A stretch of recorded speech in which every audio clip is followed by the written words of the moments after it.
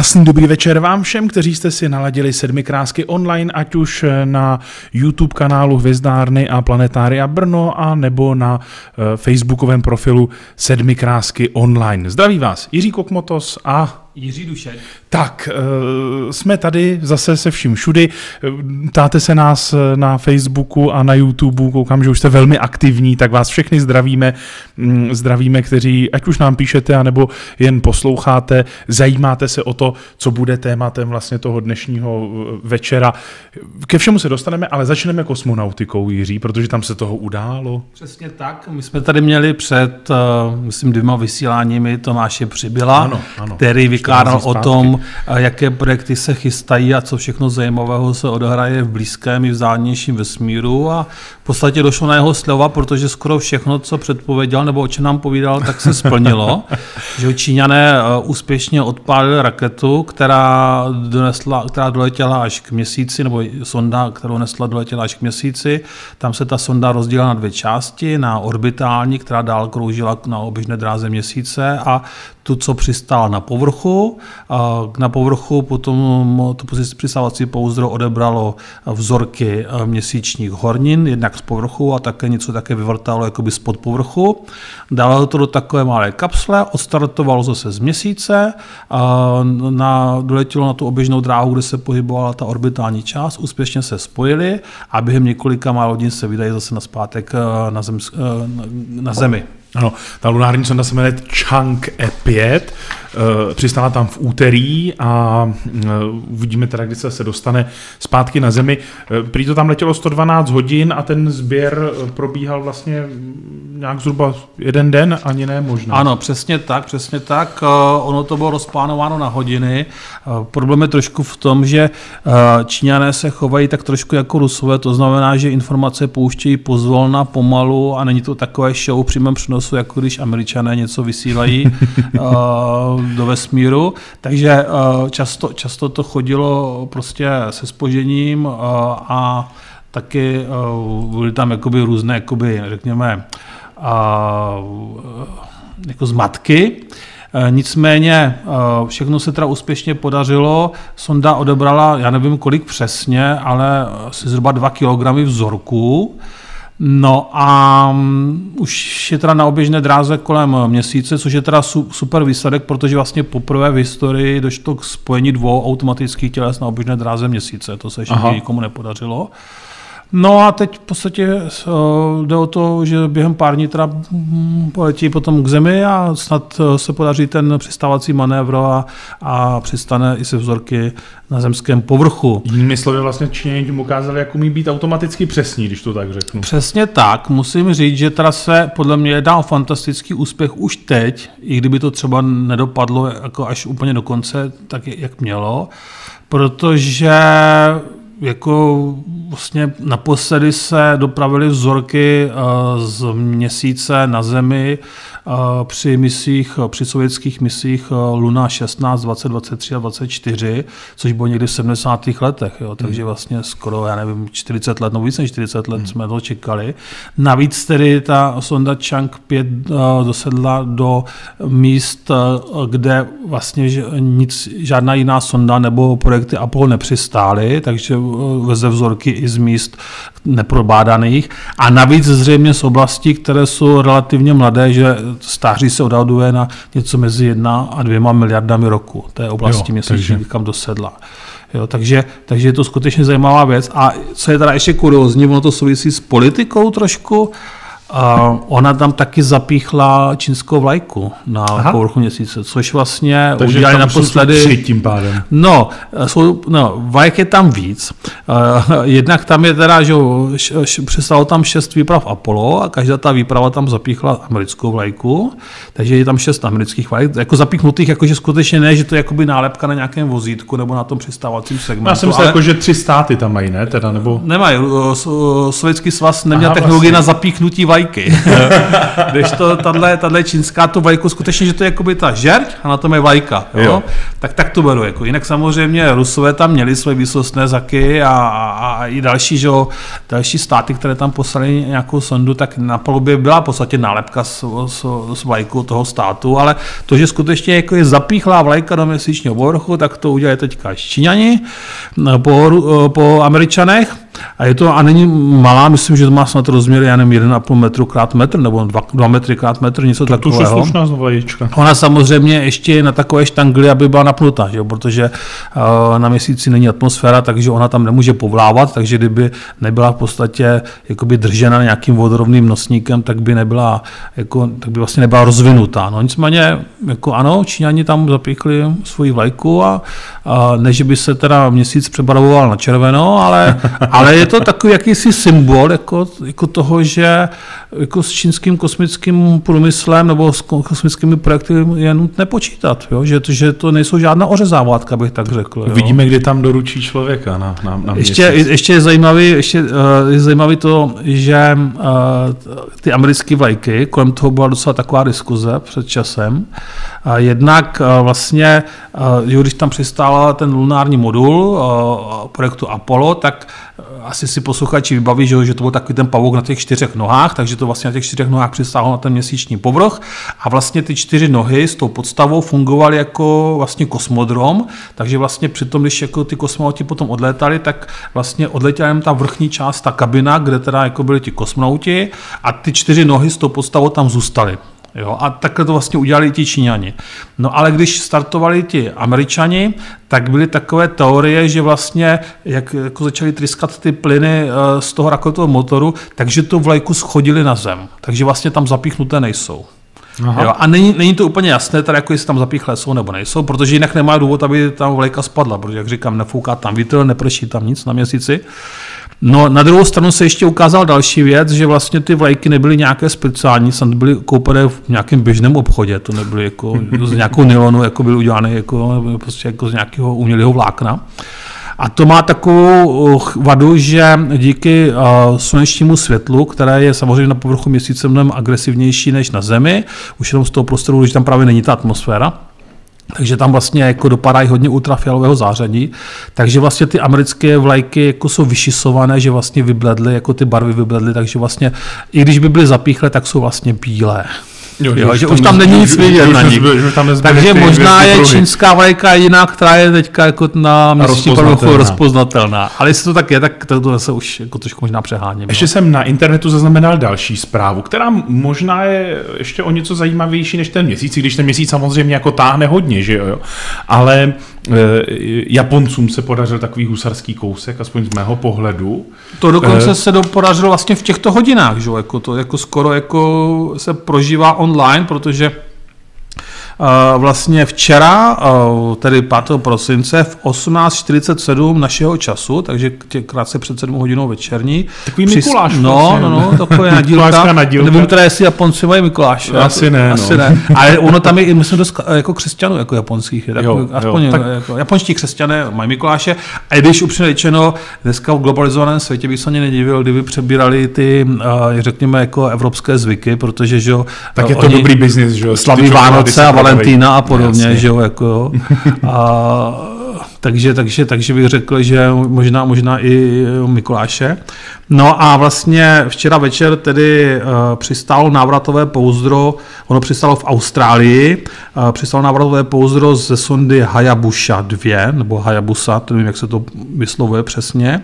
A to byla sonda, která vlastně odebrala malé množství vzorku z planetky Ryugu, což je blízko zemní planetka, která obíhá kolem Slunce, ale může se přiblížit k Zemi tak eh, vlastně ta sonda eh, v roce, myslím, 2000, teď bych nekecal, myslím, že 2000 15 nebo 16 uh, eh, vyrazila na cestu v roce 2018 uh, k té... Z Japonska v roce 2014 dokonce. dokonce 14, já si ty čísla nepamatuju. To, nejsem... to, to, to, je jedno, já jsem tady akorát právě, mě to zaujalo, že ona tam cestovala tři a půl roku. No, no, no. no. Dlouho. Ona vlastně tam, ona tam jako dva roky skoro letěla, protože uh, k té planetce dorazila v červnu roku 2018 a uh, dlouhou dobu ji studovala. Ta planetka není nějaká veliká, vlastně zhruba je to taková půlkilometrová nemůžu, nemůžu říct koule, ono to jsou takové jakoby dva jehlany k sobě přilepené tou podstavou, jo? takže je to taková šiška, jako řekněme. Rugbyový míš takový. Tak, zhruba půlkilometrová, no a vlastně ona jednak jako obíhala kolem ní a dělala jako její výzkum. Co je také zajímavé, tak vlastně ona měla s sebou několik takových jakoby malých zavazadel. Měla tam dvě vozítka, která vlastně vypustila na povrch té planetky. Potom tam byl jako vlastně ona měla jako tři takové, jakoby, to nebyly jako vozítka, jako opravdu svá smyslu. Byla to jaká, jakási taková pouzdra, která jako vypustila směrem k té planetce a oni tam jako přistáli, ale protože vlastně to je malé těleso, tak ta gravitace tam je velmi nízká, tak o, tam prostě není možné jako jezdit jako na kolech, ale oni tak jako by poskakovala jako po tom povrchu. A o, vypustila celkem tři taková pouzdra, dvě přistála na tom povrchu, to třetí, to se jmenovalo Maskot a to, o, teda dvě, dvě přistála a ten Maskot to bylo dokonce evropské, to bylo evropské zařízení a potom také měla takovou zvláštní jako sondičku sebou, v podstatě kanon a ten kanon vystřelil uh, projektil, který vážil zhruba 2,5 kg směrem k té panece a při tom vlastně dopadu tam jako vlastně došlo k uh, vzniku kráteru a odhalení podpovrchových vrstev materiálu. Takže vlastně tam jinak se prováděla nějaká měření z té oběžné dráhy, potom teda jako byla, byly nějaký ty detektory, které jako přistály na povrchu planetky, potom ona ještě vypustí, by vlastně ji odstřelovala, ale teda jenom mm-hmm. jedním projektilem. No a potom vlastně se podařilo to, že sonda uh, odebrala vzorky z povrchu i z toho vlastně místa uh, vyvrženého při tom impaktu. No a s těmi vzorky se vydala před nějakou dobou k zemi, no a zrovna včera teda přistala a byla završena ta její základní mise.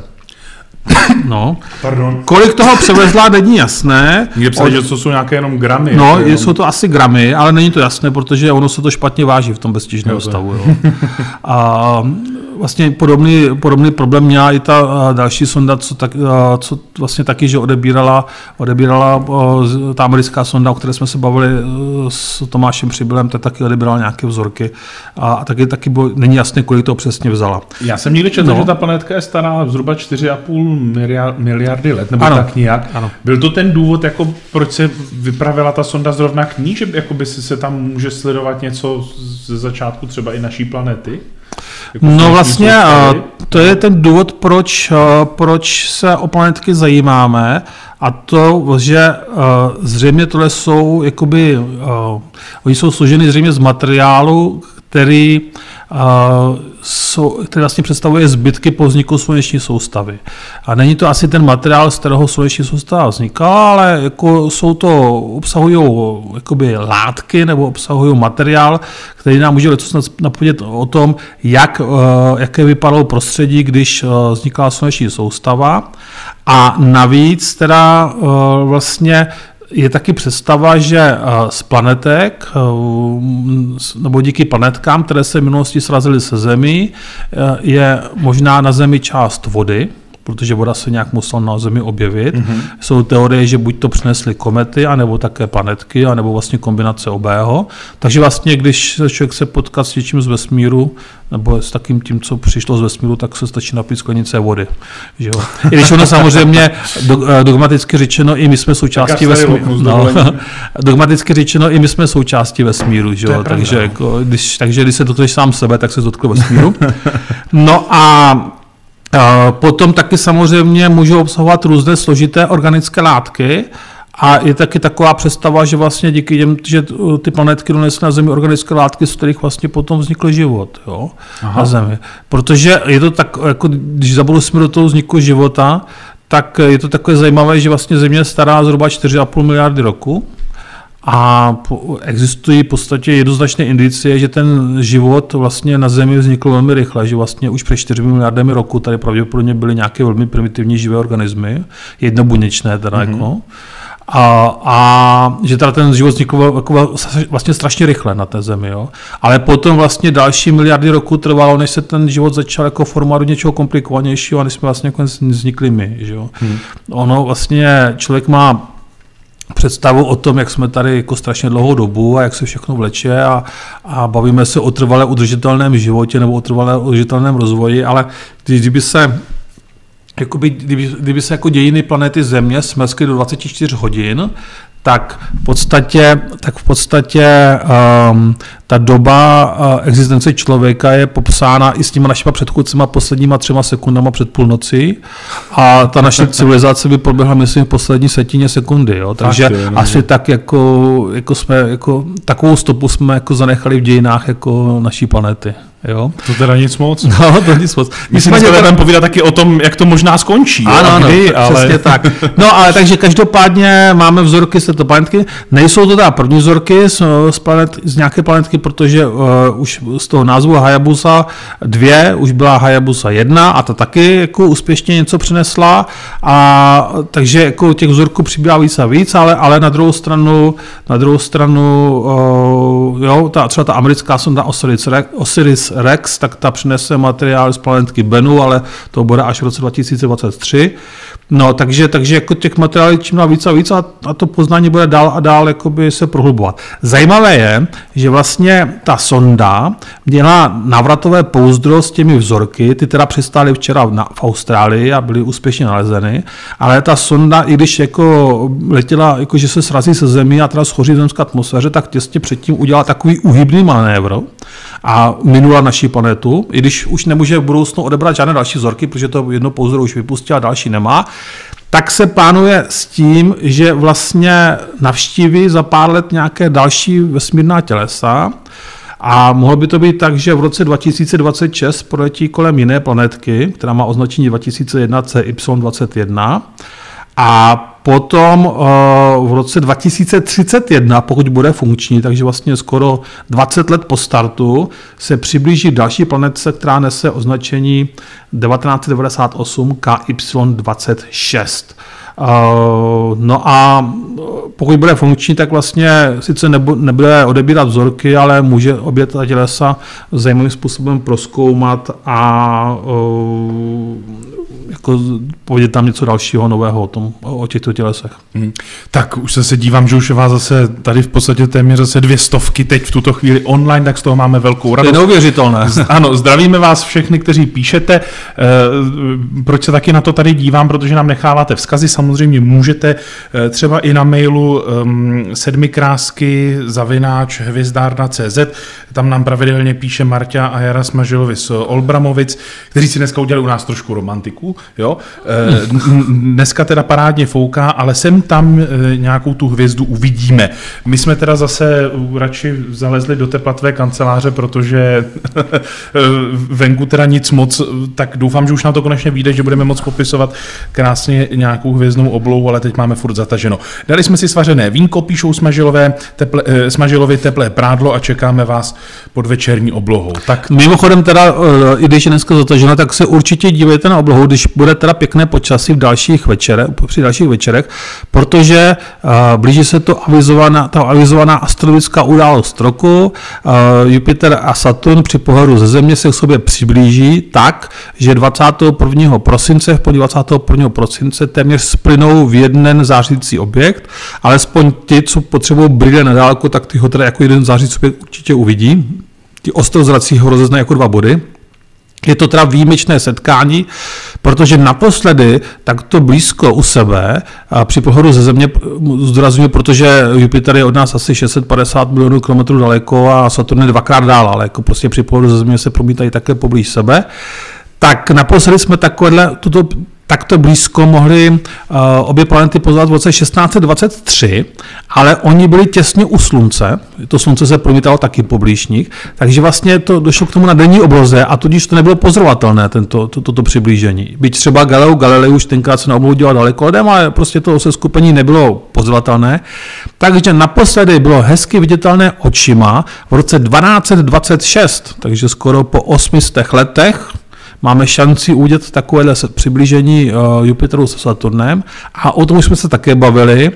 K podobnému se skupení také došlo v roce 7 před naším letopočtem a mnozí badatelé říkají, že to byla takzvaná batlémská nebo vánoční hvězda, uh, která jakoby zjistovala příchod spasitele.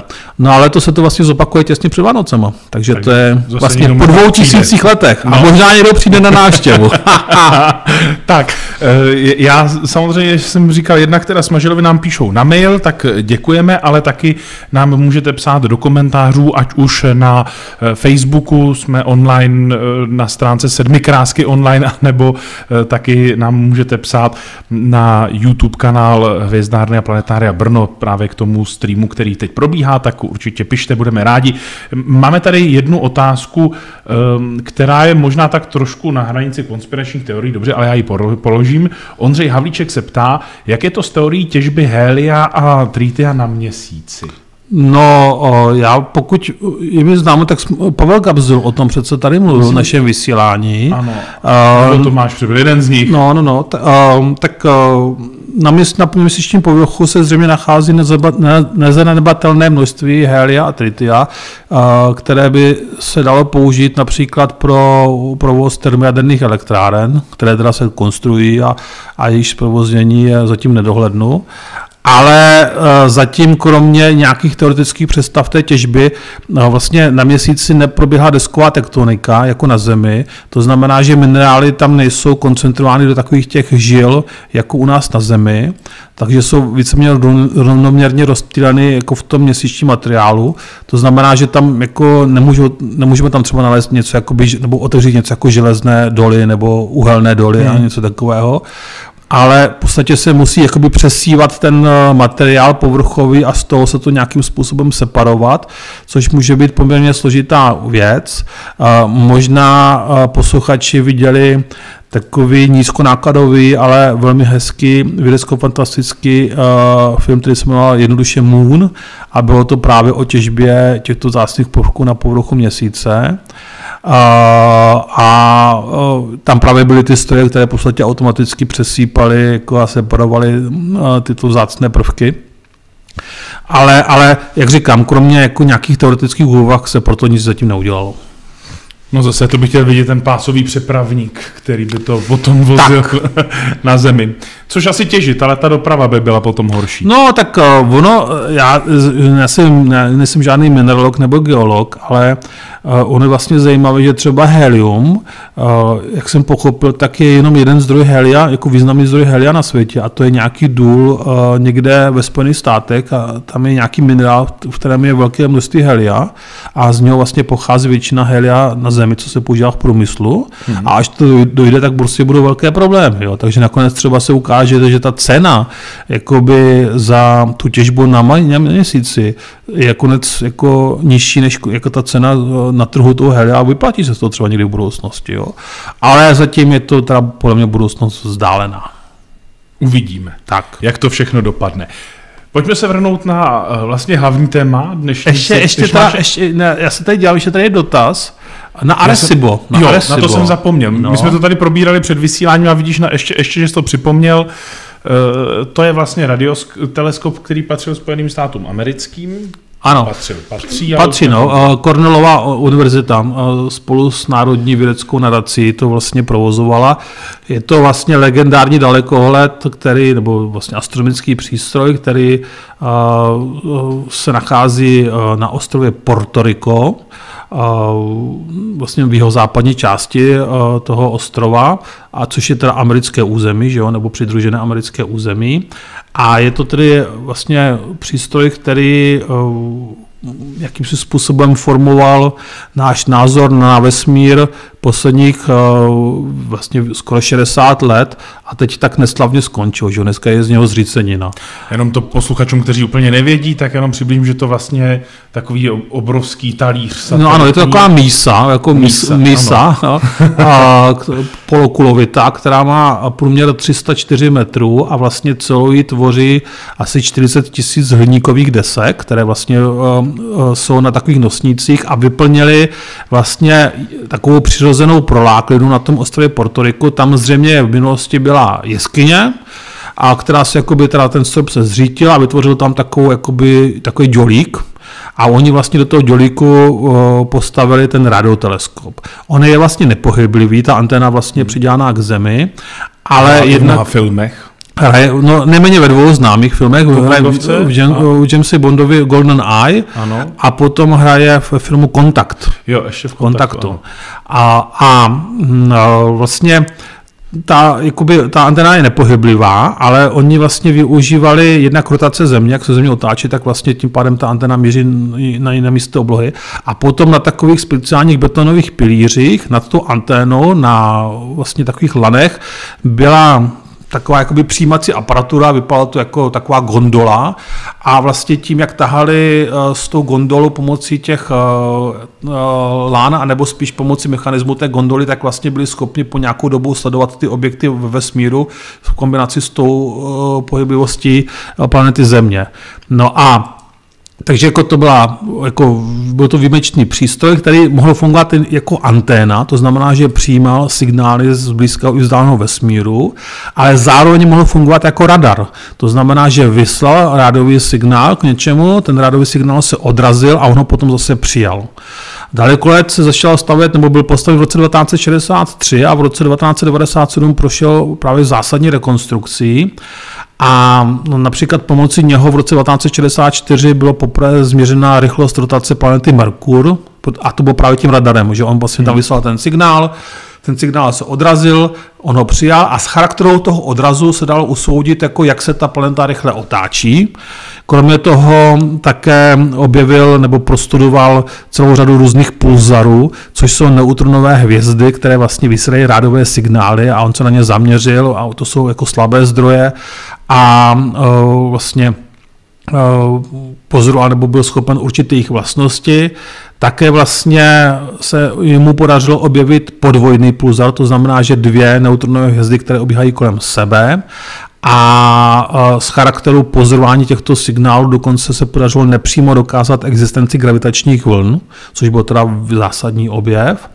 No a potom také, co vlastně umožňoval, on, uh, bavil jsme se o těch planetkách, o těch planetkách, které se přibližují k Zemi a když nějaká planetka letěla právě na vhodném místě, tak on ji vlastně radarem ohmatal a udělal její model, takže jsme vlastně mohli zjistit, jak ta planetka jako vypadá a uh, jak třeba rychle se otáčí a podobně aniž bychom tam poslali nějakou sondu.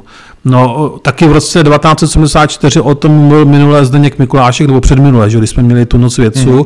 tak vlastně tam od tam byla vyslána ta rádiová depeše těm mimozemským civilizacím ke, ke kulové hvězdokupě M13 v souvězdí Herkula jak on vlastně říkal, že samozřejmě tam to nikdo nezachytí, protože to tam poletí 50 tisíc let a dalších 50 tisíc let to poletí na zpátek. Mezi tím ta kulová hvězdokopa se ještě v tom vesmírném prostoru posune a navíc v kulových hvězdokopách jsou hvězdy, kolem kterých pravděpodobně neobíhají planety. Takže to byla spíš taková. A ještě by tam, a ta depeše netrvala moc dlouho, takže ještě by tam musel mít přijímač také. No a takže, takže jako zažil to mnohé, ale problém je byl ten, že v podstatě každá technika stárne a navíc, že Karibik není zrovna místo zaslíbené. A sice jako... Turistice, to, jo. No, ale... pokud tam nejsou hurikány, že jo.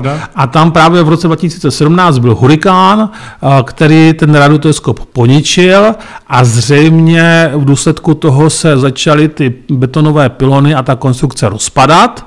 A nejdřív se vlastně utrhlo jedno lano, které jakoby vlastně spadlo na, na tu přijímací misku, na tu přijímací misu a tak jako ji poničilo, no, ji poničilo. No a e, pak se ukázalo, že vlastně je to pravděpodobně neopravitelné celé to zařízení a že hrozí jeho zřícení. A k tomu došlo nečekaně brzo, vlastně hnedka 1. prosince tohoto roku se ta lana urvala a ta horní pozorovací plošina se celá zřítila vlastně do, na, na tu mísu, úplně ji teda zdemolovala, dneska je z toho zřícenina, která vlastně už je neopravitelná a tím ten daleko let, nebo ten přístroj jako v podstatě zanikl hmm. a už nic nenapozoruje. A, ale tu svoji stopu jako v, v, v tom vědeckém výzkumu zanechal obrovskou. Ve světě jsou ještě takové radioteleskopy dva? No, jeden je v Číně, ten je větší, uh, tam taky využili nějakou krasovou oblast na to, aby tam postavili jako takovou mísu, tam má teda poměr 600 metrů a uh, podobně veliký je snad i dalekolet, který se jmenuje Ratan a nachází se, nachází se v Sovětském svazu, ten měl průměr anteny 576 metrů ale uh, upřímně řečeno, já teda moc nevím, uh, co ty daleko dokázali. Ten sovětský to asi dokázal málo.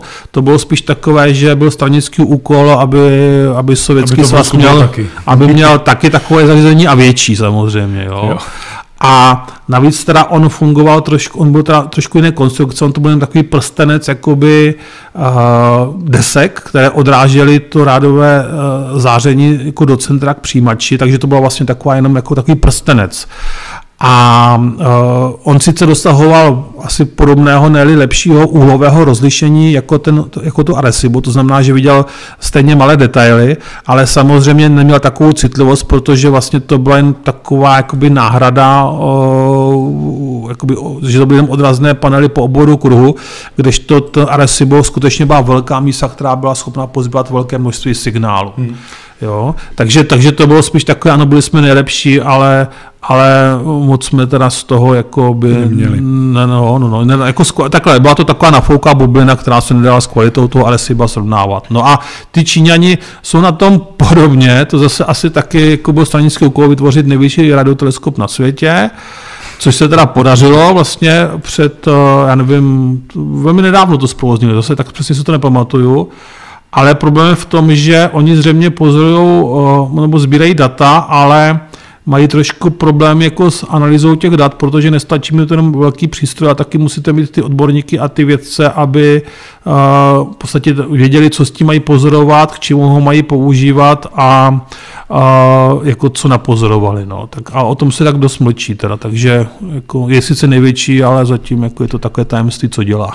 Mě by teda ještě zajímalo, že když si mluvil o tom Arecibu, že udělalo vlastně takové jako revoluční objevy, tak eh, proč třeba američané mezi tím třeba nepostavili ještě nějaké v uvozovkách druhé Arecibo nebo něco prostě podobného, takhle velkého, protože teď teda to zařízení nemají.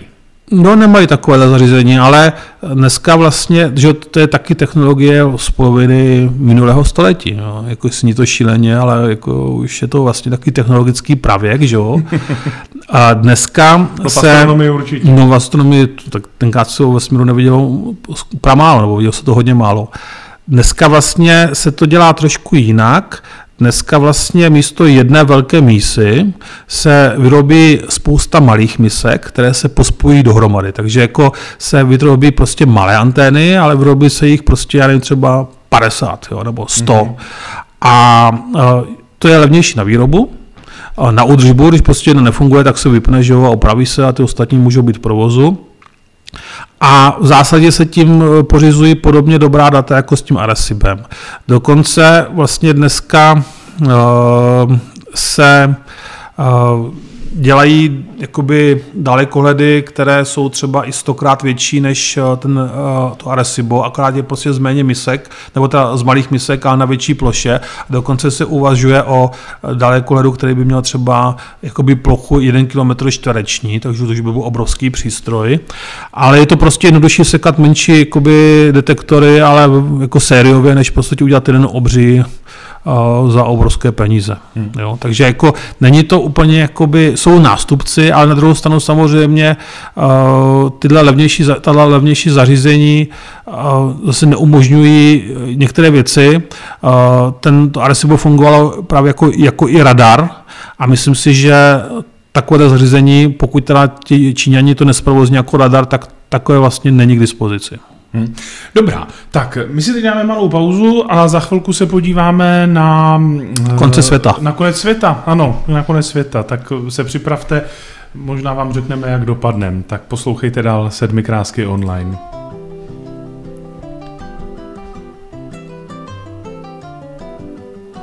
Se nám tady píše někdo...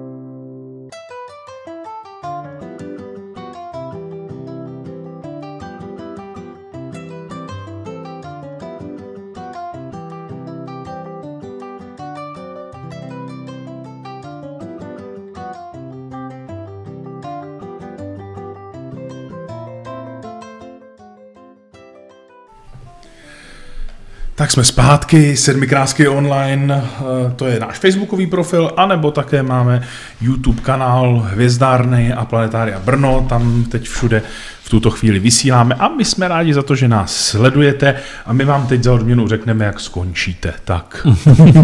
ne, tak vybrali jsme téma konec světa. Když jsem se na to díval, tak eh, všechny možné civilizace, ty, které tady byly před námi, tak vlastně většinou počítají s tím, že ten svět jako skončí tím, že přijde něco z vrchu. Paradoxně i třeba takové Pompeje, které vlastně zanikly eh, kvůli sopečnému výbuchu, co přišlo vlastně ze spoda, tak všichni počítali, že přijde něco z vrchu.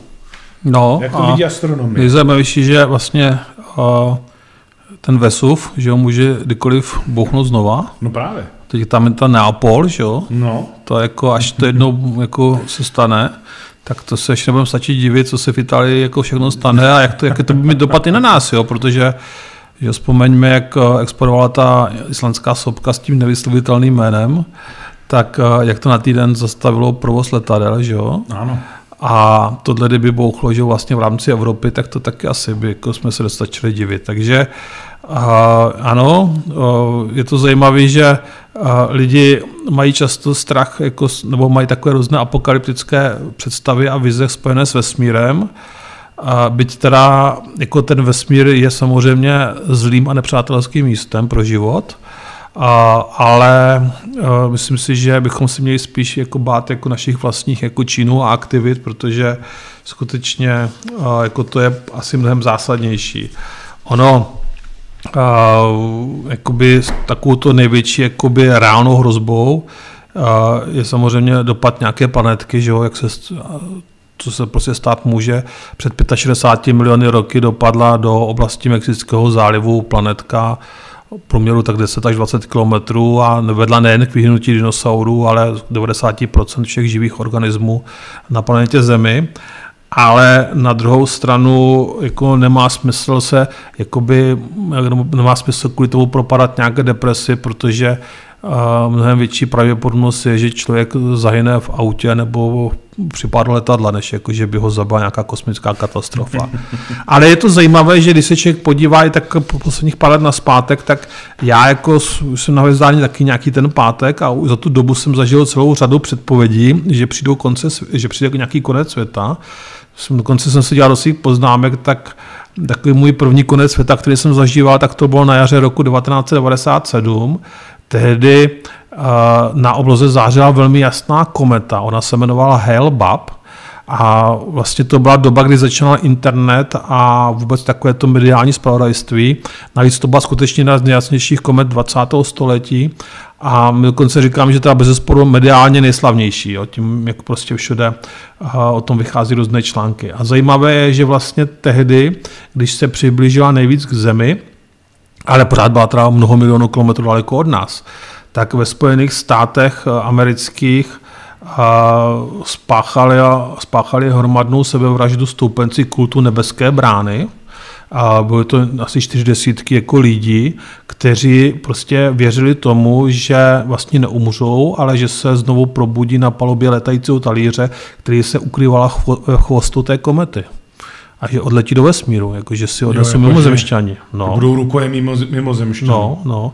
A, a, a, o tom, že vlastně komety jako vyvolávaly taky poprask, o tom jsme se myslím už bavili, v souvislosti s kometou Halley, ta v roce 1910 byla pozorovatelná a tehdy vlastně v tom chvostu té komety astronomové objevili různé chemické látky složité a myslím, že i kyanovodík. A dokonce se ukázalo, že planeta Země proletí chvostem té komety.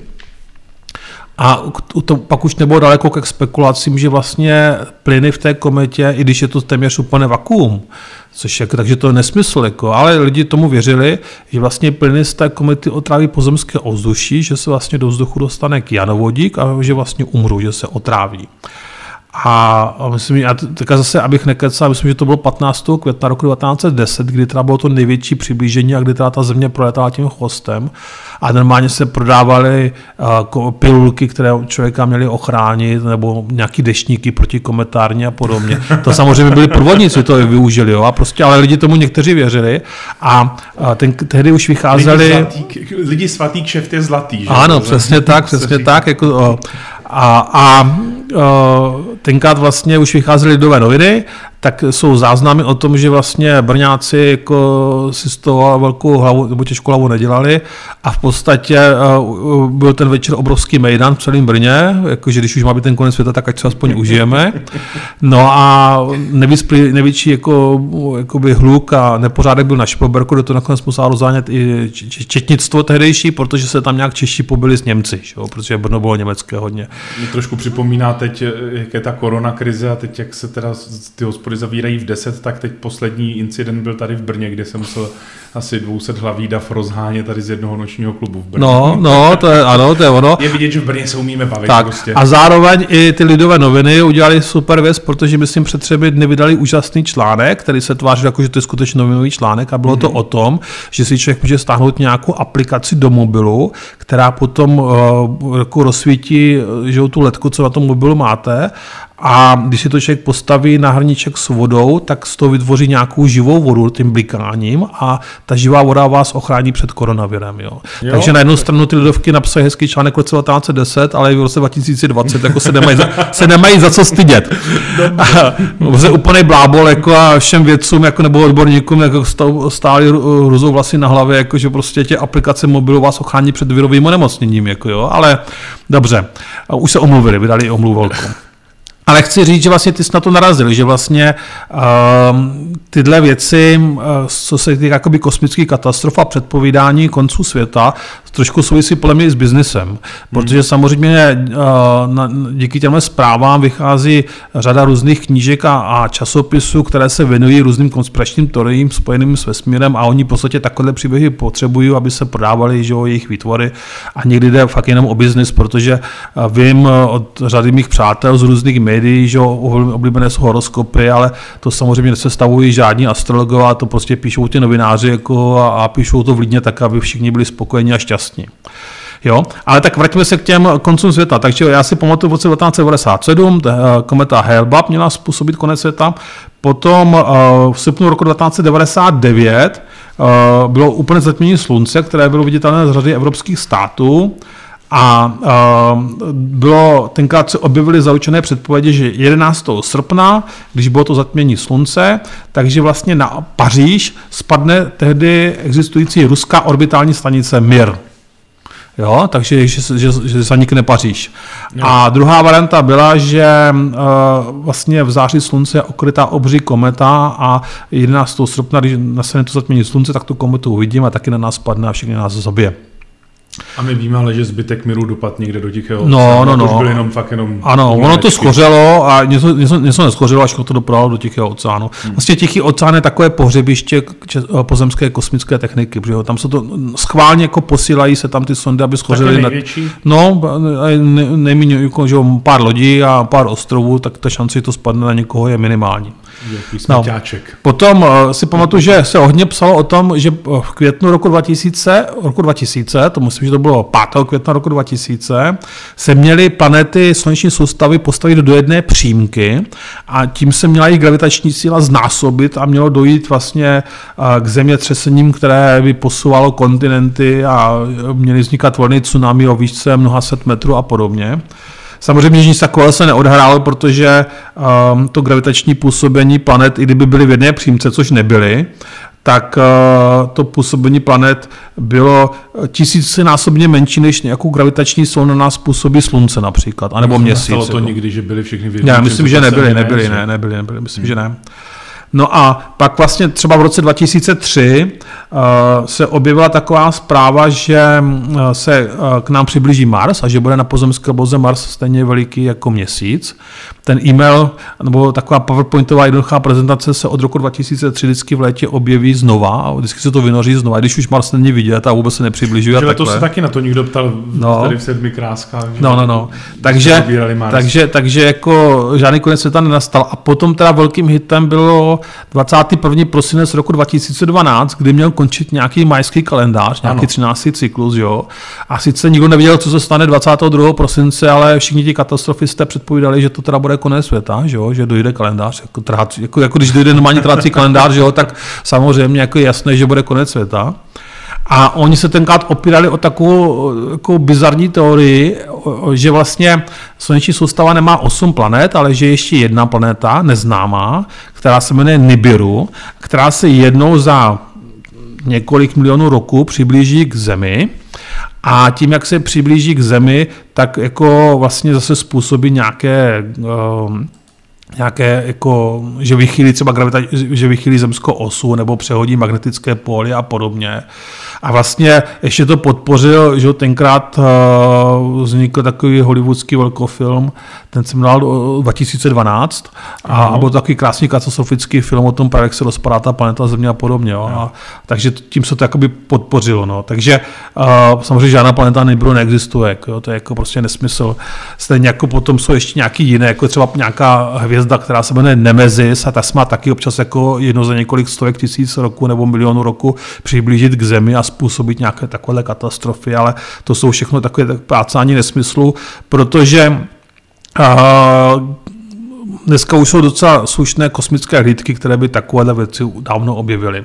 A astronomové nemají důvod to zamlčovat, protože zase, když to vezmu pragmaticky, kdyby se ukázalo, že takováhle nebezpečná tělesa jsou, snadněji by získávali dotace a granty na své projekty. Takže i zatím jsou peníze. Dobrá, tak teď pojďme k těm seriózním teoriím, jak to teda třeba někdy může skončit. Ehm, máme tady otázku, co třeba nějaká větší erupce na slunci. Jak by no. to třeba ovlivnilo nás? Tak, Může eh, se stát, že by něco slunce třeba provedlo? Tak že jo, ehm, život tady je asi 4 miliardy roku. Když to vezmeme jako s přimořením všech očí, tak řadu milionů roků už tady je člověk, anebo takový naši předchůdci. Takže se zdá, že jako to slunce je relativně klidnou hvězdou, protože kdyby tam takovým erupcím docházelo, tak bychom asi se nedostali do, tam, kam, kde jsme. Že? Na druhou stranu a slunce je aktivní způsobuje to, že vlastně na povrchu dochází k různým erupcím a přestavbám magnetického pole, při kterém se třeba uvolní energie třeba až 100 milionkrát větší, než je energie při výbuchu jaderné bomby. Navíc vlastně přitom jako vznikají nabité částice, které potom putují sluneční soustavou a můžou se strefit do planety Země. Naštěstí máme zemskou atmosféru, máme jinak magnetické pole, které nás chrání a potom zemskou atmosféru, která nás chrání. Většinou důsledkem, eh, když se to tohle stane, je, že vidíme polární záře, to je vlastně důsledek sluneční aktivity, a eh, potom dochází k změnám toho magnetického pole. A tam může být problém, že vlastně eh, to skutečně může nějakým způsobem ovlivnit dění na Zemi, ne, že by člověka bolela hlava, ale že jednak to může poškodit umělé družice a náš, náš moderní život je závislý na, na družicích, satelitní navigace, že jo, především, ale i jiné věci podstatě bez družic nemůžou fungovat.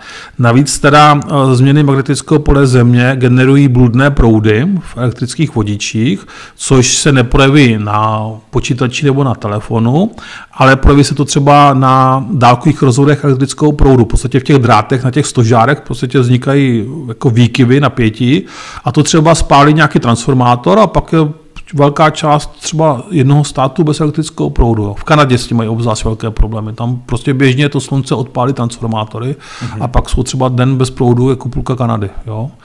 No a potom to třeba urychluje ty bludné proudy, které takhle slunce generuje, nebo to magnetické pole měnící se díky slunci, tak to urychluje korozi plynovodu a ropovodu. I ty s tím musí počítat, protože to jsou vlastně plechové roury a tam taky vznikají bludné proudy.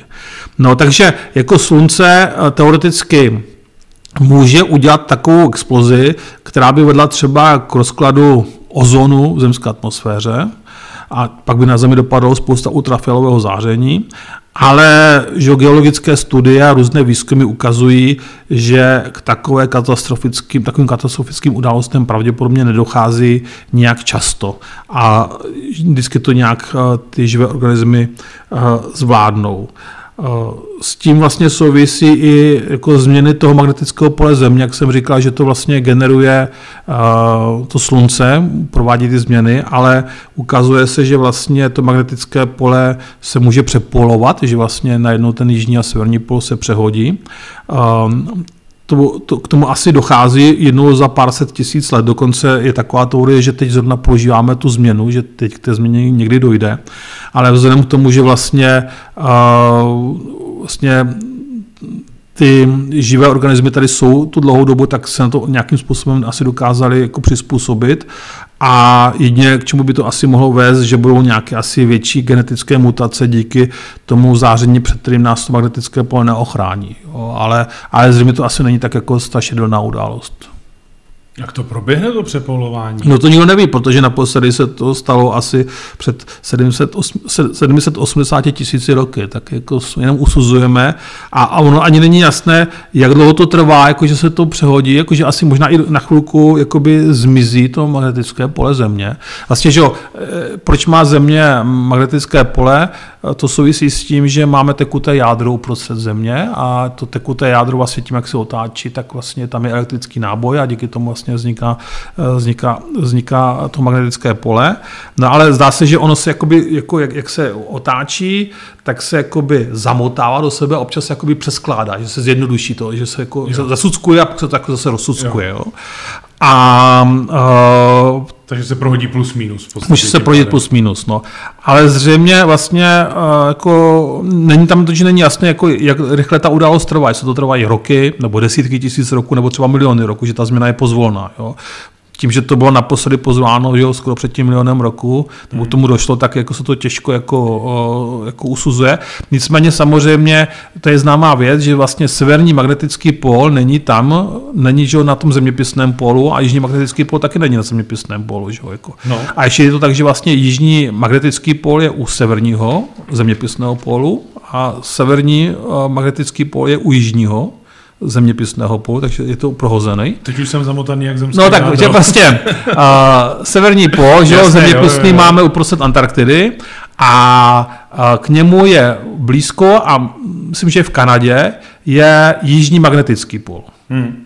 A naopak, že jo, uh, uh, jižní zeměpisný pól máme uprostřed Antarktidy a uh, severní magnetický pole je někde, myslím, v Tichém oceánu, a to si teďka nevím přesně. Jo. Takže vlastně uh, uh, kompas neukazuje směrem na sever, jako k, k severnímu zemskému polu, ale ukazuje směrem k tomu magnetickému polu. Jo.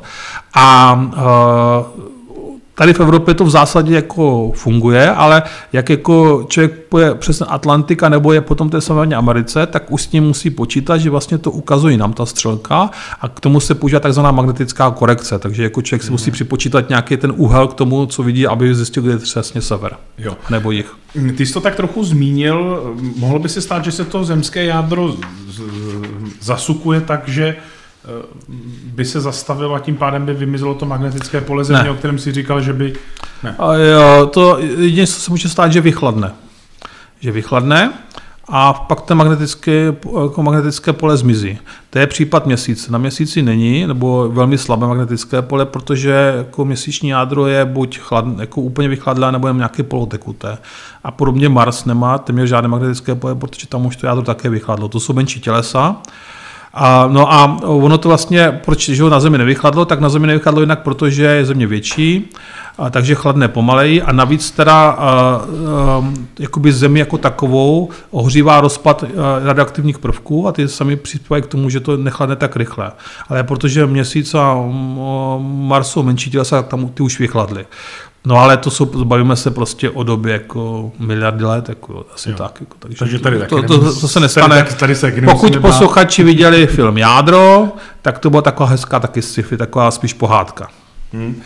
Kdyby se změnila orientace rotační osy Země? No, tak to se samozřejmě dá, jako, jo. Tam jde o to, že mm, my vlastně máme jednu obrovskou výhodu a to, že se kolem nás pohybuje měsíc. Ono se ukazuje, že ten měsíc není jenom jako ozdoba, ale je to docela zásadní věc, protože on právě stabilizuje polohu rotační osy e, Země v prostoru. Kdybychom ten měsíc neměli, tak by vlastně se ta rotační osa mohla kývat víc jako prostoru a docházelo by k mnohem extrémnějším výkyvům počasí. Jo, což asi je třeba případ Marsu, který na to doplatil, že nemá nějaký takovýhle satelit, který by mu to umožňoval. A, a jsou takové výpočty, jako že vlastně dneska ta rotační osa Země je vůči té rovině oběhu skloněna pod úhlem 23,5 stupně a ty změny jsou nepatrné. Ale kdyby, kdyby ten měsíc nebyl, tak by se ten úhel mohl měnit od 0 stupňů až do 90 skoro.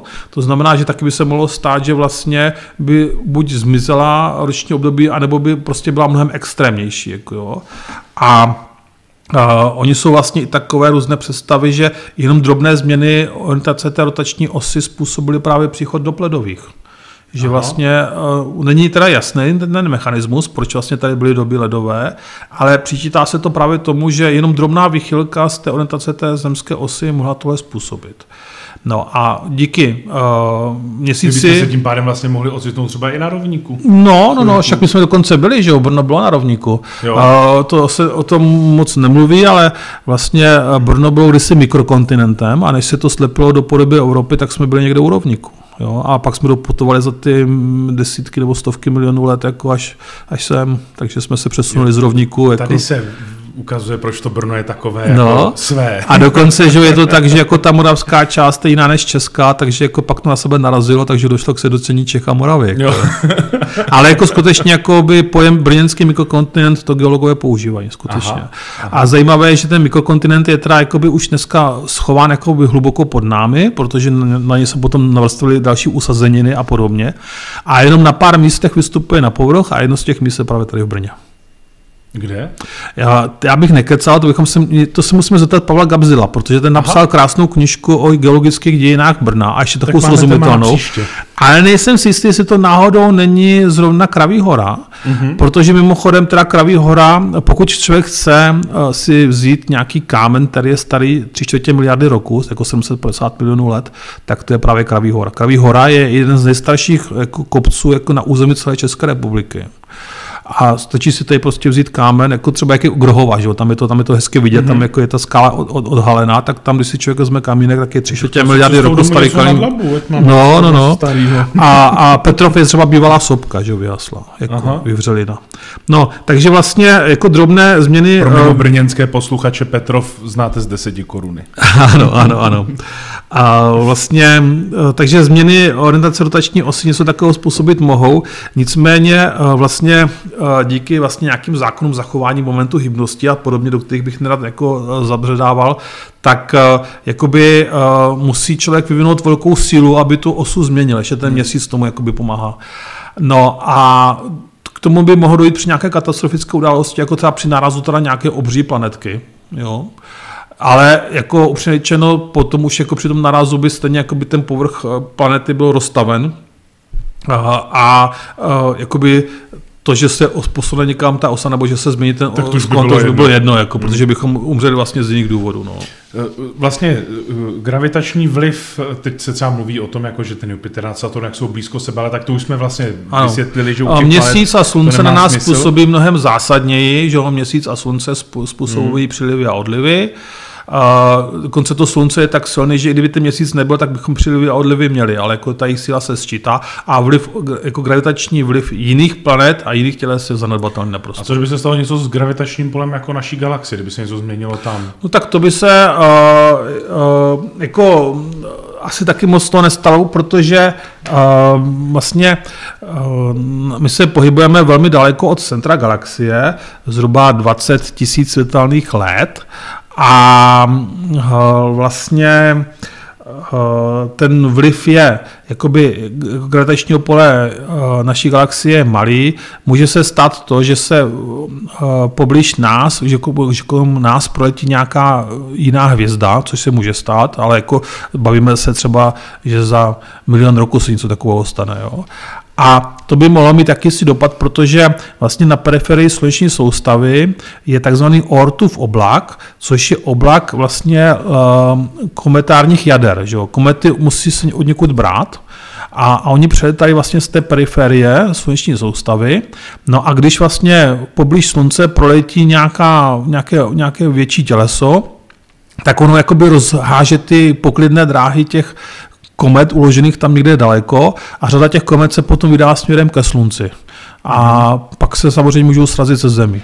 Takže ano, takováhle, to, to, to by mohlo nastat, a, ale uh, žádná taková hvězda se za našich životů ani za životů mnoha, mnoha našich dalších budoucích potomků nepřiblíží k, k Zemi. Jo, já ještě se vrátím trošku v našem vysílání zpátky. Marie Novotná totiž se nás ptá, svého času měla snad aktivita slunce způsobit poškození sítí rozvodu elektrické energie v naší republice. Je to možné?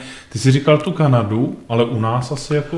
Já teda uh, přesně nevím, uh, jestli něco takového je zdokumentáno přímo v České republice. Vím, že v roce 89 ta sluneční aktivita byla hodně divoká a že tenkrát, uh, myslím, že ten stát New York, že? a New York, že byl bez proudu, doko, dokonce několik dní, hmm. ale myslím si, že v České republice nic takového nenastalo. Na druhou stranu, pamatuju si, to je myslím tři roky na zpátek nebo čtyři, bylo uh, zatmění slunce, kdy eh, vlastně eh, v rámci Evropy to sluníčko bylo schováno, já nevím, z 90%, byl takový úzký srpek slunce. A to se teda vážně řešilo, ne proto, že by teda měli obavy ze sluneční aktivity, ale z toho, že vlastně ten eh, sluneční nebo ten měsíční stín zakryje postupně celou Evropu a budou se postupně odpojovat a připojovat sluneční elektrárny. A ti energetici měli strach z toho, že vlastně dojde jako narazovitým jakoby zapojením, jako výpadkům proudu a naopak, že na, se zase jako rychle naběhnou nahoru, tak se dělali nějaké modely, aby to prostě nevyhazovalo jako jednoduše řečeno pojistky. Jako, a nedělalo to neplachu a dělali jo. se v podstatě nějaké modely, jako co se bude dít, že vlastně zatmění slunce může vlastně zničit energetickou soustavu v rámci Evropy. Což se teda nastalo, protože jak na to bude nachystaně, jinak ono bylo částečně zataženo, takže to bylo úplně jedno.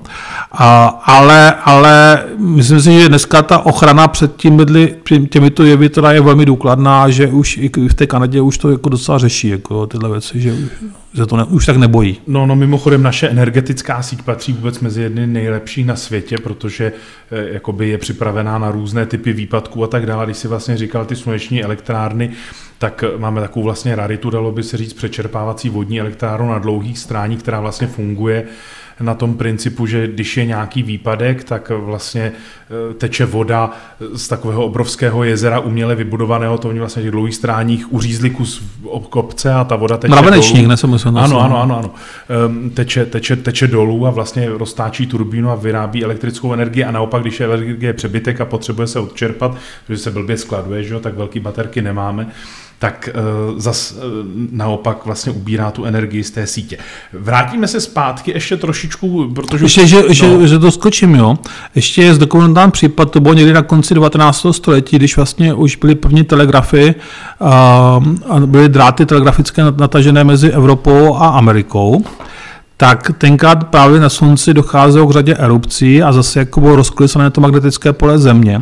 A ono v těch drátech jako generovalo ty bludné proudy a normálně oni jednak ti operátoři dostávali prostě jako elektrické rány, protože to prostě tam bylo hodně toho jako jo. proudu a jednak prostě mohli telegrafovat bez baterek, protože to se jako no, měli no, od, sluníčka, od sluníčka, jo. takže tohle je taky zažité, to bylo taky kuriozity. No. My jsme začali to naše povídání o konci světa takové optimistické, takhle před Vánoci, eh, tím, že jsem říkal, že by vlastně mohlo přijít taky něco jako ze zdola, to znamená nějaké eh, vulkanické erupce. Eh, říkal jsem o Pompejích, ty si říkal, že vlastně Vezuv by mohl zase někdy bouchnout. Myslíš, že ale třeba hrozí, že by bouchlo něco tak jako hodně, že by to mohlo ovlivnit jako život na celé planetě no. nejenom třeba v té Neapoli, ale prostě všude. No. Tam minimálně na kontinentu, na Evropě. No, on, on se diskutuje, že uh, je jednou za nevím, 50-100 tisíc roku dochází na Zemi k takzvaným supererupcím vulkanickým, a což jsou jako v podstatě jako obří schopky teda. Hmm. A oni vlastně při těch událostech se dostane do ovzduší obrovské množství plynu a prachu a to vlastně rozvrátí ten klimatický systém, že dojde třeba k ochlazení jako, jako povrchu planety Země a samozřejmě k neúrodě a, a, a hladomorům. Naposledy zřejmě k něčemu takovému došlo asi před 75 tisíci roky, když explodovala indonéská supersopka Lake Toba, a, a to prý klesla teplota zhruba o 10 stupňů Celsia, jo, v průměru, jo, to znamená, že vlastně tam, kde byla zima, tak tam byla ještě větší zima a, jako, a prostě obrovská neúroda. A Uh, uvažuje se třeba nad tím, jak je Yellowstone, takže to je potenciální supervulkán, že, ten, jako, že to se jednou rozevře, že tam je prostě pod tím nějaká kaverna magmatu a, a že to až se jednou bouchne, tak to je teda jako konec severoamerické civilizace. Jo? A jako, uh, že takový ti jako, na výlety do národního parku. optimističtí odborníci říkají, že a, jako, nejde o to, jestli se tak stane, ale kdy se tak stane. Jako. jo. A, ale předpovědi nejsou žádné. Ne, nejsou, to jsou, on se to předpovídá špatně. Jo, jo, jako. Ale jako stát se to může. No, jako. Hmm. Ten, že, ta moderní civilizace je tady prostě, řekněme, poslední 10 tisíc roků. Že, jako. hmm. Tak to je strašný okamžik. To je žiknutí oka v dějinách planety Země. A dělí se různé věci, že jo, planeta Země, já nevím, před zhruba půl miliardu roku komplet zamrzla, že jo, jako byla prostě celá pokrytá ledem, možná kromě rovníkových oblastí nebo se stalo to, že vlastně vznikl ten život, tak došlo k takové té kyslíkové katastrofě, jo, že vlastně se objevily ty jednoduché organismy a oni začali vlastně, že atmosféra byla jedovatá, bylo to CO2 hodně a oni prostě vyžírali ten eh, CO2 a vyráběli obrovské množství kyslíku a došlo k takzvané kyslíkové katastrofě, protože samozřejmě kyslík jako je pro nás důležitý, ale větší koncentraci jedovaté, že a oni ty organismy vyrobili tolik toho kyslíku, že sami sebe otrávili, že jako, jo. Takže to byly různé epizody v dějinách, jako, které jako skutečně měnily, měnili chod jako té přírody úplně jako nečekaně. Jo. Taky se blbě předpovídají. No, taky taky se třeba říká, že některé ty super erupce vedly k tomu, že ukončili právě ty doby ledové, takže jako jejich vliv byl i pozitivní, jo, jako z dlouhodobého hlediska. Hmm. Jako, takže ale je to možné. No. Jako ten, ten Yellowstone je velmi horkým kandidátem na super erupci krásnou. Pak jsem šel jednou kolem m, mm, takového termínu temná trhlina v mléčné dráze. No, to je a... jednoduchý. A posluchači určitě se dívali na oblohu někdy v létě, že jo, kdy je vidět mléčná dráha. A mléčná dráha, že jo, to je vlastně takový ten stříbřitý pás, který se táhne oblohu a ten vytvářejí vlastně hvězdy z naší galaxie. Že jo? Naše galaxie má podobu plochého disku a my vlastně ležíme v tom disku, takže my vlastně vidíme jakoby ten pruh, tak to je jakoby vlastně, že se děláme na ten disk z boku. A ale ten, ta mlečná dráha není, rovno, není rovnoměrná, jak by tak mohlo být na první pohled, jako by, tak jak by to na první pohled mělo být. A jsou tam různé tmavé fleky. A ty tmavé fleky, to jsou vlastně oblaka temného plynu, který vlastně, a prachu, který nám vlastně brání vidět ty vzdálenější hvězdy. Takže vlastně eh, díky tomu je měsíčná dráha flekata. My se děláme, to jsou vlastně oblaka jako takzvané mezivězné látky, ono tam je, jako, to není, dá se to představit jako, jako by pozemský oblak, je to skutečně jsou to drobná zrnička uh, prachu a, a molekuly nebo a atomy plynu. Je to pořád stále jakoby téměř dokonalé vakuum, ale ten vesmír je tak rozehlý, že i to malé množství se tam tímhle způsobem projevuje, jako tím, že stíní ten výhled. No a zajímavé je, že normálně planeta Země, respektive sluneční soustava, se nachází v takové zvláštní bublině, kterou kdysi před mnoha staletími, možná tisíciletími, vyfoukla supernova, že vybuchla hvězda a při tom výbuchu, vlastně při té explozi, jako se rozletěl ten plyn na všechny strany a vyfoukl, vlastně vyčistil ten prach kolem nás. A my se nacházíme v takové, tomu se říká lokální, lokální bublina a, a ta má za následek to, že vlastně máme takový hezký výhled na ten vesmír kolem nás, jinak bychom mm-hmm. asi viděli tu oblohu mnohem hůř. Yeah. Uh, hodně, a už jsme se o tom taky bavili v sedmikrátkách, až se dneska k tomu dostaneme, eh, je, že by se mohla naše země s něčím střetnout, potkat, ale mm, co kdyby něco takzvaně řachlo do slunce? No, tak jako to, něco velkého. to se taky stát může, to se, no, to se dokonce stává, jo. To se stává... Slunce je velké. Slunce je velké a běžně se pozoruje, že do slunce padají komety.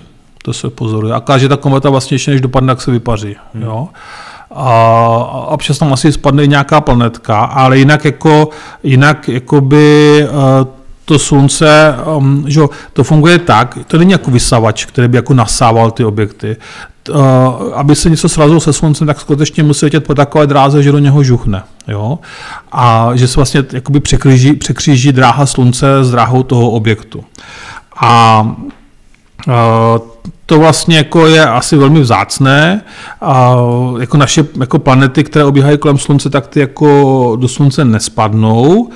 A uh, jako menší tělesa, ta, některá teda, jak říkám, se teda se sluncem srazí a pak zaniknou, um, ale řada z nich také vlastně uh, jakoby tomu setkání unikne, protože ve sluneční soustavě je jako takový uklízeč a to je planeta Jupiter, která jako sice není tak veliká jako Slunce, ale, ale, ale není to jako malé těleso a ono vlastně gravitačním působením na ty menší tělesa zařídí to, že buď teda to těleso skutečně spadne na to slunce, nebo naopak vyletí ven ze sluneční soustavy, tak je to taky uklízeč. Tu a tam i nějaké spadne do toho Jupiteru, jako, to se taky pozoruje, že tam něco zanikne občas. Takže tu taky nějaké velké no, no, no. nebezpečí nehrozí. Takže jako by v podstatě jediné, co by hrozilo, že se se, se sluncem srazí nějaká jiná hvězda, ale to je teda extrémně nepravděpodobná událost. Mm-hmm. Co kdyby, a to se taky stává, že explodovala nějaká supernova? No, a to se stalo v minulosti asi. A vlastně jako supernovy explodují hvězdy, které jsou asi tak osmkrát hmotnější než naše slunce. A vlastně při té explozi dochází k tomu, že se ta hvězda jako vlastně jako vybuchne, rozletí se jakoby ten, tady vnější vrstva do všech směrů a vlastně vzniká také vlna záření gamma a kosmického záření.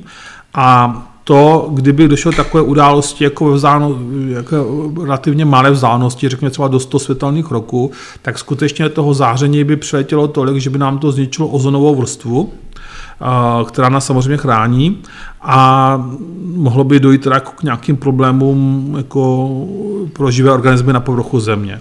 Statisticky se odhaduje, že k takové události dochází jednou za asi 250 milionů let, takže že mm-hmm. za našich životů k ničemu takovému nedošlo. A Eh, víme díky astronomickým výzkumům, že eh, do té vzdálenosti 100 světelných let žádná taková hvězda neexistuje, která by mohla explodovat jako supernova. Nejbližšími kandidáty je třeba Betelgeuse ze svězdí Oriona, a ta hvězda je od nás vzdálená asi 600 světelných let, takže sice by jako přišla sprška záření od ní, ale, ale nebylo by to teda jakoby katastrofická událost. Pak jako jsou nějaké další jakoby, obří hvězdy jako hypernovy, které jako vytváří ještě větší množství té energie, ale e, žádnou takovou neznáme. Jo? Žádnou takovou, jako, žádná taková zatím jakoby v nějaké blízké e, vzdálenosti objevena nebyla. Na druhou stranu jsou také představy, že vlastně při expozi blízké supernovy, která v minulosti určitě nějaká byla, mohlo dojít k takovému jakoby globálnímu ozáření naší planety. A co se děje s živými organismy, když jsou ozářeny, že ho začnou mutovat. Některé ty mutace mohly být pozitivní a vlastně mohly urychlit jakoby, vývoj života na Zemi. Hmm. Jo, že to vlastně naopak tu evoluci nakoplo. Ale teď to v našem zájmu není, aby nás někdo rengenoval a ozařoval. Čili ve výsledku zjistíme, že možná jsme vlastně my taky nějací mutanti, No, no, no, no tak určitě vlastně to kosmické, vlastně. to kosmické záření, anebo vlastně i záření přirozeného původu tady, že protože vlastně všechno vyzařuje nějaké Jasně. záření, akorát něco více, něco méně, tak to jako dělá ty genetické mutace, jo, hmm. a některé můžou být skutečně pozitivní, jo, ale jako většinou to jsou spíš negativní. Eh, nejčastěji, když se mluví o konci světa, a tak konec konců je to i o tom, že je, na to konto vznikla spousta filmů a, a i literatury, že jo, tak je dopad nějaké planetky, či um, třeba nějakého komentárního jádra na naši, no, no, na no. naši planetu. A to se stává, no, běžně. No, jak často právě vlastně se třeba naše atmosféra stane pohřebištěm nebo schoří v ní právě něco menšího. No, tak záleží na, tom, záleží na tom, že jako, o jak velkých tělesech se bavíme. Jako země se sráží neustále s něčím, jo? takže o, většinou to jsou drobná těliska o velikosti třeba cigaret, jako částeček cigaretovém kouři, anebo prostě milimetrová a ty vlastně vykresují na obloze ony padající vězdy, že meteory. Hmm. Ale to jako, tak zhruba jednou denně se ta planeta země srazí s něčím větším. Um, jednou jako, denně? No, jednou denně s nějakým tělesem třeba o velikosti několika metrů, které vlastně při té explozi uvolní stejnou energie jako jaderná bomba. Akorát, že jakoby uh, ty Samozřejmě dvě třetiny naší planety jsou pokryty oceánem, takže řada věcí se odehrává nad, nad, nad vodou ve velkých výškách, na denní obloze třeba, takže nejsou vidět a podobně. Jo? A, takže to, ale to jsou věci, které jako jsou hezké, ale jako uh, dopadne třeba i nějaký zbytek z toho tělesa na zemský povrch v podobě meteoritu. Nicméně to jsou jakoby spíš kuriozní nebo zajímavé věci. Uh, v podstatě nebezpečná jsou pro nás tělesa, která mají průměr, řekněme, 50 metrů a víc. Vlastně když uh, třeba před stolety že v Tungusce, tak tam dopadl meteorit, že jo, ten měl zhruba těch 50 metrů se odhaduje, no a to byla velká katastrofa, akorát naštěstí to spadlo, že jo, na Sibiři. A taky se třeba odhaduje, že Vlastně před eh, asi 2000 roku před naším letopočtem zkvětala řada civilizací, jak byly řeky Eufrat a Tigris. Že jo? Mm-hmm. A tam byla prostě spousta měst a, a spousta, jako, že jo, ta civilizace byla velmi rozvinutá a potom z oni zanikly. Jo? A spekuluje se, že vlastně mohla spadnout nějaká menší planetka tam a způsobit vlastně neúrodu, anebo rozvat té civilizace, jako těch civilizací. Mm. Jo? Ale uh, potom, že máme teda ty dinosaury, ale jinak na zemském povrchu je zdokumentováno asi 200 kráterů objevených, eh, které vlastně jsou stopami po dopadech velkých těles. Jde o to, že samozřejmě na, na Zemi, jak je atmosféra, tak ty krátery časem se vlastně díky erozi zmizí. Jo, vlastně sma, smaže eroze. Navíc se že pořád dvě třetiny naší planety je voda, takže pod vodou se hledají špatně ty krátery. A potom taky se pohybují kontinenty, že? takže ty kontinenty, jak vznikají a zanikají, tak, tak tím se taky mažou ty krátery. Jo? Takže nejsme tak poděbaní jako na měsíci. Jo? Ale jako dochází takovým apokalypsám a když je to těleso větší než 150 metrů, tak to už je skutečně jako, už je víceméně jedno, kam to spadne, ale je to konec, konec, to. konec naší doby. Eh, Marie Novotná, když my už jsme to částečně asi odpověděli v tom uh, tvém povídání, tady píše náklony osy, posuny a výměny pól, pólů. Co takhle změna rychlosti otáčení naší země? No, to je samozřejmě možné cokoliv, ale k, tom, k té změně je potřeba jako vyvinout nějakou energii, která by to udělala. A, a, a to dokonce myslím, že vznikl i film? No, to jsou různé filmy. teď ten, jak se jmenuje, odčen, ne, odčenáš, Souček napsal uh, Akce L a to bylo o tom, že roztočili měsíc. Jo, ano, jo, jo, jo, Byl to Souček, ne? Ne, nebo ne, ne, ne. ne. Běhounek. Běhounek. Tak, Běhounek. A to byla taková hezká vize té komunistické budoucnosti tam. No. To myslím, to bylo ke stému Viliči versus Sero, nebo něco, no, no, no, no, no, tak nějaký to bylo roztočit, roztočit měsíc. A, jako možné je všechno, ale musí to to být dostatek energie a to jsou většinou takové události, při kterých uh, jako by dojde třeba k rozstavení povrchu zemského, jako zemské, jako zemské kůry, takže vlastně jako by ty důsledky toho, že něco zabrzdíte nebo se čím posunete, jsou tak katastrofální, že vlastně to posunutí nebo to zabrždění už není tak významné. Na druhou stranu, bavili jsme se o měsíci, a tím, že jako existuje teda jakoby dvojtěleso země měsíc, tak díky tomu se skutečně rotace, rychlost rotace zemské osy zpomaluje před jako miliony, no, před stovkami milionů roků netrval den 24 hodin, ale trval třeba jenom 12 hodin. Ta země to se prostě točila mnohem rychleji a i do budoucna to bude tak, že se to otáčení bude zpomalovat. A dokonce možná si zvídavič, jakoby posluchači jako zaregistrovali, že občas je takzvaná přestupná sekunda. Ano. No a to, je, to souvisí právě s, se zpomalováním otáčení země. Aha. Že se občas musí přidat ta jedna sekunda, jako, aby se to jako synchronizovalo všechno. A uh, to, že jako se ta země uh, zpomaluje to otáčení, na to se přišlo takým zajímavým způsobem a to analýzou pozorování úplných zatmění slunce v minulosti. Protože jde o to, že eh, vlastně, když dojde k úplnému zatmění slunce, tak ten jev je pozorovatelný z malé části zemského povrchu. Tam prostě, kam dopadne ten měsíční stín. A uh, vlastně záleží na tom, jak je ta planeta natočena. No, ukázalo se, že kdyby se ta planeta točila pořád stejně rychle, jako i v minulosti, jako teď, tak vlastně v některých těch městech prostě to zatmění nemohli pozorovat, protože měly být jinde. Jako ta hmm. země měla být jinak pootočena. No a tak se přišlo na to, že se vlastně otáčení země zpomaluje a že to vlastně jako je pozorovatelné i za jakoby v rámci dějin lidské civilizace. Hmm. Tak eh, teď jsme mm, slyšeli z tvých úst spoustu možností, jak by to mohlo skončit. Jedna věc je teda vlastně ještě teda jakoby konec života na Zemi a pak jako ještě konec země jako takové. No. E, tak e, zatím teda mě se z toho nejvíc pravděpodobnější, co se toho života jeví, tak jako, že co by mohlo teda někdy nastat je nějaká fakt Eh, nějaká supervulkanická erupce. To je asi nejpravděpodobnější, no, jako přírodní katastrofa. Takže, takže nakonec to možná nepřiletí z, právě z vesmíru, ale naopak to... Otevře se peklo! Otevře se peklo! Teď máme to Mikuláše, že jo? Dobře, no a taky je nějaká ta vesmírná, která je třeba nějaká jako pravděpodobná, nebo jak to skončí a vlastně jak by mohla skončit ta planeta teda. Jako jak skončí planeta Země, hmm. tak jako tak ten konec bude horký, no. A vlastně první problém je ten, že zářivý výkon slunce pozvolna roste, to se prostě pozoruje. A byť i nepatrné zvýšení toho zářivého výkonu jako má jako fatální důsledky pro zemskou atmosféru, že vlastně toho světla no a tepla jako dopadá na Zemi více, takže se ta Země bude postupně oteplovat takže post, časem se v podstatě vypaří zemské oceány, vyvaří se voda no a, a země bude prostě pustá. Pak přijme atmosféru postupně právě díky slunečnímu větru a, a tomu horku.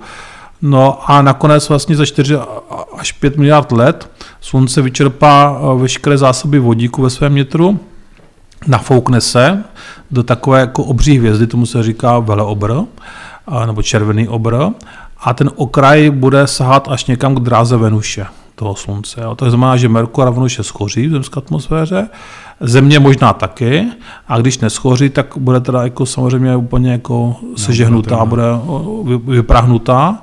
No a no to bude konec. No. Ale on ten konec asi přijde dřív toho života na Zemi, ono stačí, že aby přišla doba ledová, že? to může přijít, jako hmm. to, jako, že jedna byla před pár tisíci roky, že? A zdá se, že ty doby ledové prostě přicházejí rychle, jako ne, že by ze dne na den, že jo, jak v těch katastrofických filmech, ale třeba jako během 100 let. Jo, to už jako, že se může to stát. Jo.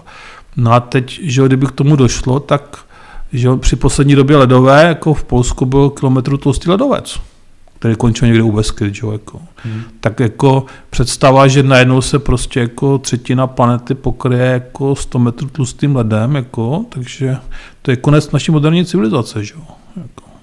Ale přežít se to dá. No přežít se to, tak vždycky něco jako... přežije, že jo, jako vždycky něco přežije. Tam je ta výhoda v tom, že jako ten eh, život je prostě nesmírně odolný a uh, nějakým způsobem by asi pokračoval, ale samozřejmě jako otázka, jestli ještě s námi. Hmm. Hmm. Tak když to vidíte teďka, že jo, jako stačí, jako aby pár dní nefungoval elektrický proud a myslím si, že se to tady rychle všechno rozpadne. Taky pravda, no. Tak eh, to jsme tak jako optimisticky. ne, ale takhle, takhle. A nebojte se apokalyptických vizí, co se týká vesmíru, protože je mnohem větší šance, že, že vás zabije auto, jo, v kterém jako pojedete někam. Jo. Jo. To je takový jako iracionální, že lidi se bojí letat letadlem a vůbec si neuvědomují, že je 500krát větší pravděpodobnost, že zemřou cestou v tom autě, na tom, když jedou na to letiště. Že to auto je mnohem nebezpečnější dopravní prostředek než to letadlo. Ale všichni, že jo, jezdíme autama nebojíme se jich, jako neletáme tak často a bojíme se tam letadla. A podobně je to i s těmi vesmírnými katastrofami. Jsou reálné, ale pravděpodobnost kosmické katastrofy je hodně blízká nule a mnohem svědčí pravděpodobností skutečně se vám stane tady něco, díky nepozornosti nebo díky prostě blbé náhodě jako v běžném životě. Jo, takže nebojíme se vesmíru. A když jsme u toho, tak nejbezpečnější dopravní prostředek na světě je výtah. Jo, to no. jsem ani nevěděl. Jo, fakt, že jo, jakože na počet přepravených osob prostě jako nehod s následkem smrti je fakt minimum. No vidíš to, to Jako, jako, si vem, kolik lidí jede denně výtahem, že jo? to je pravda, no akorát, že, jako, že jo, jako ten výtah má omezené, jako, ale třeba v tom, že jo, Monte Carlo, tak tam mají výtah, že je ten, že jo, to Monte Carlo je tak jako z kopce, že jo, No, tak tam no, jako no. skutečně výtah jako funguje jako eh, prostředek městské hromadné dopravy, že jo, No, jako, jo. tak- tak kde to mají tak když takhle, tak no. výtahem. Ale Monte Carlo. a Monte Carlo. Tak, eh, Jiří, eh, uteklo to, uteklo. Ono půl už je tolik hodin, desátý. Ale teda musím říct, že naši milí sedmi kráskaři jsou eh, neskutečně odolní a dokonce jich přibylo, teď už vás v tuto chvíli je skoro 260 To je online v tuto chvíli, tak z toho máme ohromnou radost, jsme rádi, že jste s námi a i počet jednotlivých přehrá, přehrání tady aspoň na YouTube nám vyskočil přes 1400, tak to mám taky velkou radost. Eh, Tak eh, pojďme ale ještě udělat už teda takovou opravdu tečku za tím dnešním vysíláním, ať si taky necháme něco na příště. Eh, m- Mohli bychom si říct, mm, jestli je něco, na co by se měli naši posluchači dívat. eh, No tak jednak, jednak říkám přibližování Jupiteru a Saturnu, protože to bude úžasná podívaná. Samozřejmě, že média a všichni upírají zrak k pondělí 21. prosince, ale realita je taková, že to bude krásná podívaná už několik dní předtím a také několik dní potom, protože ty planety skutečně se budou míjet řadu dní a fakt je to super věc, protože, jak říkám, naposledy k tomu došlo jako o, skoro před jako tisíci roky. Jo? Takže, takže, takže určitě se na to podívejte a navíc před Vánocema, že ideální. A je to vidět hnedka z večera, že jo, zapadne sluníčko a hnedka se musíte dívat. A my už jsme posílali že jo, takovou anonci všem jakoby odběratelům uh, sedmiklářského newsletteru a ještě se tomu budeme věnovat.